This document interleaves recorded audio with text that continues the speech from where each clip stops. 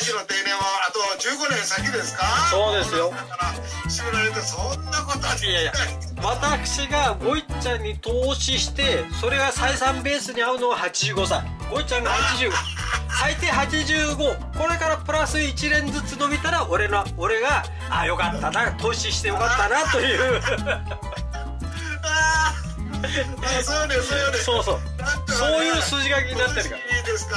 あの私の方の生産もね、うん。えー7月の25日ぐらいですかね、えーそれぐらいになったらあー数字がちゃんと出ると思いますんで、えーなんとかこう配当なり。私はね いいこと言ってわますけどわ私のえー、と投資した見返りは86歳85以上ゴイさんが働いてくれてちゃんと私のところにビアが届けばそれで採算合うあう。うん。いやいだやそれがね、うん。私はあなたと違ってやはり毎年毎年がね、ああえー勝負なんでさああ。それを打ってないとあオーナーさんから打ち切られるとさ ね明日からこうこうこうこうなんだよね。こうなんだけどさ 正直言うてさああ。そう思ってねなんとか今年のやつでね、ええ。少しでもね1でも2でもいいけどね出ないかなとあいうのがあ私のあれですね。そうすると85まで続くんだけども、うん。85を過ぎてまでってなるとあオーナーさんの方がねもうくたびれてしまうからさ そういうことのないようにね長く続けるためにはそうするのが一番いいんですよ。そうですね、ははい。いあのまあ郡司さんもと話した時もねまああのゴイちゃんが元気で働いてくれてそれを面白いなすごいなと思いながら酒を飲んでそれが俺たちの楽しみだよと。投資したね。あ応援してる価値があるから。そういう楽しみ。もうお金なんていらないからね。ね。まあそういった気持ちでいてください。まあそういうことが街はありました。はいはい。あと私としてですねあの気になってるのはねあの私が気になってるのは一つやっぱりありましてあのこの間あのゴイちゃんが転びましたよね転び,、はいはい。転びましたよね。それを見てねやっぱりあのーその道とか山とか安全な場所が果たしてちゃんとあるのかと。やっぱ安全安心のビワ農家生産者としてのご一さをこれからこう望んでほしいと思うんですよ。はいだだからねまずあのこの間最初行った時あのあ畑に連れて行ってもらった時にもう獣道みたいなところをさ車走って行ったじゃないですか。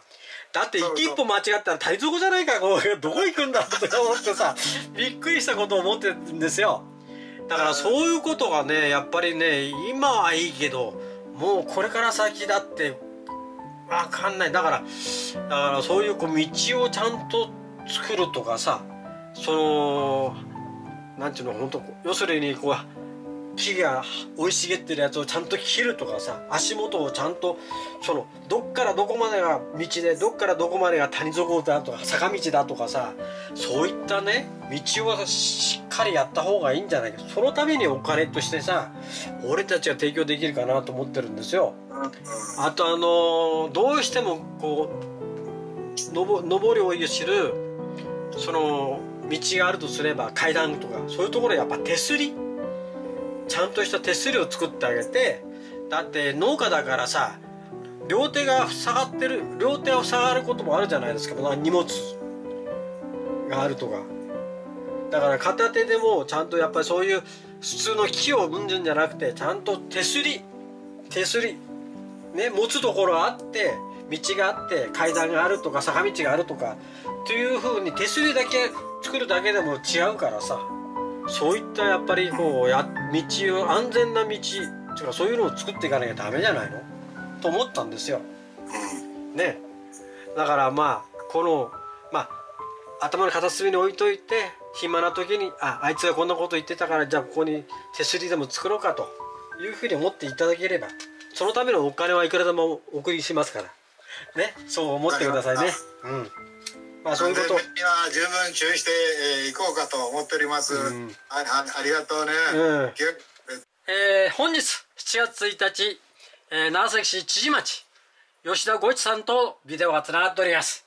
今日も明るい元気な声五一さんの声を顔を見れることだと思いますが ご一さんよろしくお願いいたしますえはい、よろしくお願いします。いつもありがとうございます。ー、はいえー毎日、えーえー今日はいい天気ですよ。いい天気ね。えー東京の方はいかがでしょうかね。えー雨ばっかしで、ちゅうところでしょうかね。まあ、雲の切れ目から、あ今、こちらの方は、長崎の方は、あ日が出ております。この2日間ぐらい、こんな状況ですかね。朝は雨が降って、えー昼間ちょっとこう、お天道さんが差すと、あそのようなあ状況ですかね。なかなかあ大仕事、山の仕事もあ入りづらいところは多々多々ありますけどもね。あ皆さんお元気でしょうかね。はいえーそういうところです。ありがとうございますはいあのー先前回とのあの、えー講座五一の講座1の紐の巻きえっ、となんで誘引の紐。でその1を出しました。まあその復習なんですけども要は五一さんとしては五一さんの言い分。まあ要するに紐とかそういったものについては金をかけちゃいかんよと。なるだけ無駄なものはあただでただで自が安く使えるようにしなさいよと。いうことですかね。あとこう結びやすいとか解きやすいとかというかそういったものを選んで、えー、と身近なもんで、えー手に入れなさいよというようなことでよろしいですか？そういうことですね。で、これがね、今やってる仕事がさ、銭になるよとかさ、そんな仕事じゃないもんでね、なかなかね、金にするのは難しいんで、はいえーそうするためには、こうやってね、紐でもさ、ああまり金を、それは金をかければね、いい紐があるんだよ。しかしそうするとさ、ちょっとね、それには大いに勝負に合わないかなと思って、あとあのーその支柱なんですけど4本の9 0センチの支柱が4つの4つであと1 8 0センチのやつが5本用意しろと言われましたよね。そう5本というのは4つは4つ四角く作るんで 4, 4本は分かるんですけどあと1本はどうやって使うんですか？いいいい質問だね。あと一本は何だと。支柱？ね支柱？真ん中？やっぱり。四つはこう分かるよね、はい。四角に、えーくくるんであってねあと一本は木が植わってるでしょ、うんやっぱしこれに沿わして打ち込むわけ、はい。この木に、うん。そしてこの木を要するにこう簡単に止めていくわけ、うん。この支柱でまっすぐ立てたやつにこう、うん。あ輪っかをしてこうこうこうなるからね、うん。分かり一番ました。悪いのはね、はい。えー小さい時植えるでしょ、はい。植えるとね風に吹かれるとこうなびくわけ、うん。なびくとね成長が悪いから。うん。で徹底的やとしてないのとはもう全然違うから育ちが、うん。あは。これ頭に入れとって、はい。えー素人さんがやる場合にそうだけどね土を打ち込んで止めると。おこうやって3箇所くらいね。そうするともうしっかり立ってる。もうこれが根が張ってしまえばね根が張ってしまえばこの支柱はいらないんだけどもあ根が張るまでっていうのはやはりしっかり止めとってやった方があいいですね何でもそう何の木でも一緒ですよはいはい、ありがとうございます。えーっと、それでですね、前回3日前に、あの、低木に育つという、あの、が7100回っていうふうに、えー再生回数になりましたよということを言ったと思うんですが、今現在では7411回。え え、あ、ー、そそれ、その他にね、あの、グッドマークって言って、このビデビデオというか、この YouTube は面白いですよっていう、るということは55回、55件の人がグッドボタンを押してくれてる。そう。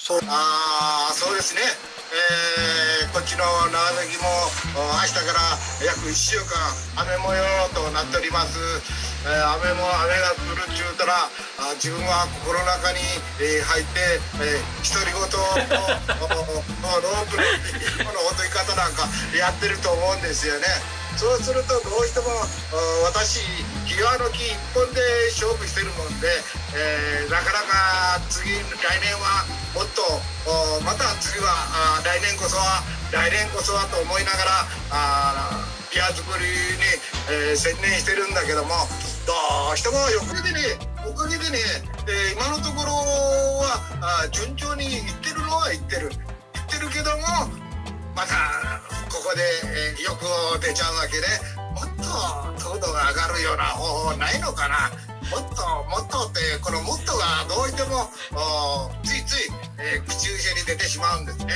えー、この間も去年ですかね、えー、測った時は一発目が14.4度というのが出たんですね。うんもう一丁じゃあ2個ぐらいはしてみようかっていう時、えー、2個目が16.8あったんですよね。